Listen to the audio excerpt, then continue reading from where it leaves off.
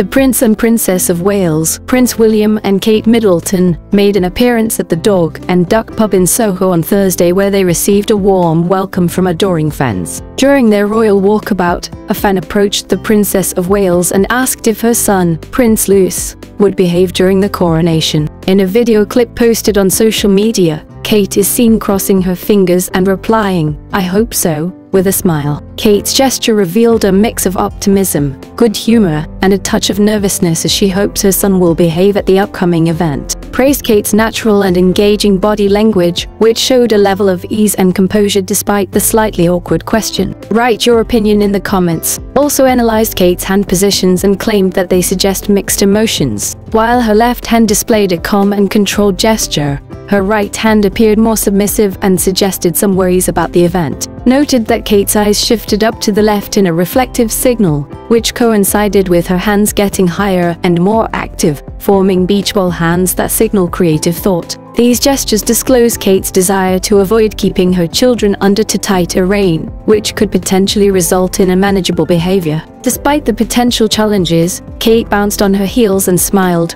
reassuring fans that she was looking forward to the coronation. When Louis was mentioned, Kate's good humor remained, and she playfully raised both hands in a stop signal to suggest some playful concerns. It was at this point that the princess literally crossed her fingers for good luck, demonstrating her hopes for a well-behaved child at the event. Overall, Kate's natural and engaging body language conveyed a mix of emotions, from optimism to nervousness, as she hoped for a successful coronation and well-behaved children. Despite the challenges of parenting, the princess showed her ability to remain calm and composed in the public eye, earning admiration from both her fans. Thank you for watching. Write what you think about it. Subscribe to the channel.